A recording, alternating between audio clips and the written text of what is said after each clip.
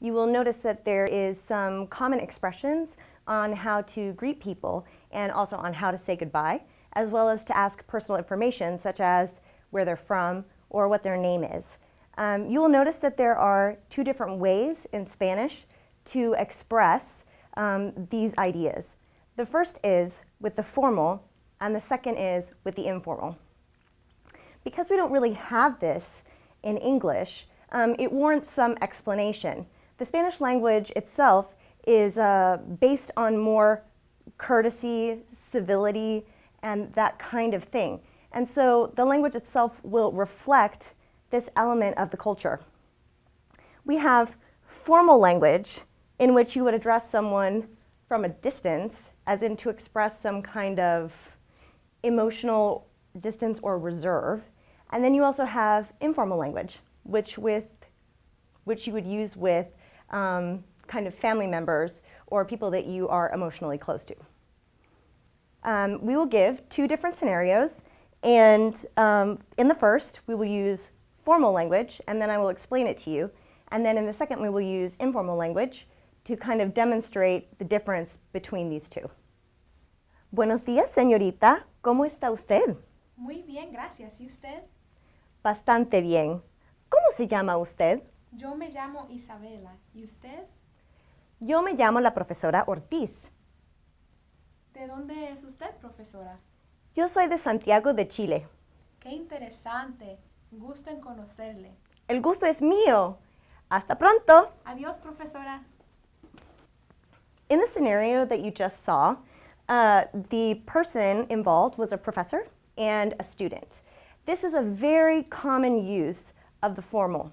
The formal will be used in situations where you are involved with someone who is of a higher rank than you, someone who has authority over you, and also for the elderly. So if you are speaking to your friend's elderly grandparents, for example, you would always use the formal.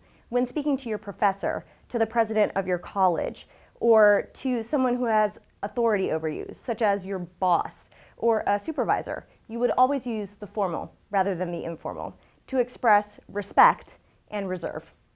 In the scenario that we just saw, there are many instances in which the formal was used as opposed to the informal you will notice that they're all highlighted in green in the conversation that we just had. So here we said, ¿Cómo está usted? And using a formal usted as opposed to a more familiar version, which would be tú. Here we also said, y usted, using the formal case. And also here, ¿Cómo se llama usted?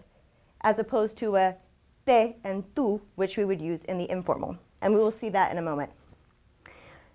We also have here, usted, and then also here, we used a formal pronoun at the end. So if this was informal, we would say conocerte, but as we use it in a formal situation, we say conocerle, indicating that we are in a formal tense. And that's how we would use the formal. So now let's look at a situation in which you might use the informal. Hola, ¿qué tal? ¿Cómo andas? Súper bien. ¿Y tú? ¿Todo bien? Oh, más o menos. ¿Cómo te llamas? Yo me llamo Isabela. ¿Y tú? Yo me llamo María Regina. ¿De dónde eres? Soy de la República Dominicana. ¿Y tú? Yo soy de Nicaragua. Mucho gusto. Igualmente. Bueno, hasta luego. Chao. In that scenario, you saw two students having a dialogue. This would be a very common use of the informal. The informal is used in situations where you are close with the person that you are speaking to, such as family relationships or friends or colleagues, perhaps that you work with who are not in authority over you. Uh, these are very common situations in which to use the informal. The informal would probably be the way that you would speak to most people that you would encounter in your day. Um, here's the example in which we used the informal and the dialogue itself. Here are situations that use the informal. Here we have andas, indicating that we are in a tú, so that indicates the informal. Here we used tú and te llamas, as opposed to se, indicating a formal. Here we used a te, showing that we are in the informal.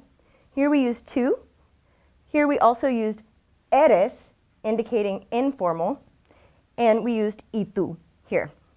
We also used more familiar language like chao, qué tal, súper bien, things that perhaps would be a little less formal in nature and more familiar, things that you might say with your close family and friends. It's hard for us as English speakers sometimes to picture why you would need to use a formal rather than an informal. This is one of many examples uh, in, in the Spanish language where you will use two things where in English you would only have one. In English, we really have one method of talking, and we do have a more formal linguistic language that we use, particularly when we're writing, but in speaking, we generally tend to use just one kind of language. However, in Spanish, there are these two different methods of speaking. And in all Spanish culture, they really do adhere to the idea of formal and informal. It's not simply something that we are teaching you in the textbook that is not used. It is actually something that they do employ in the Spanish culture.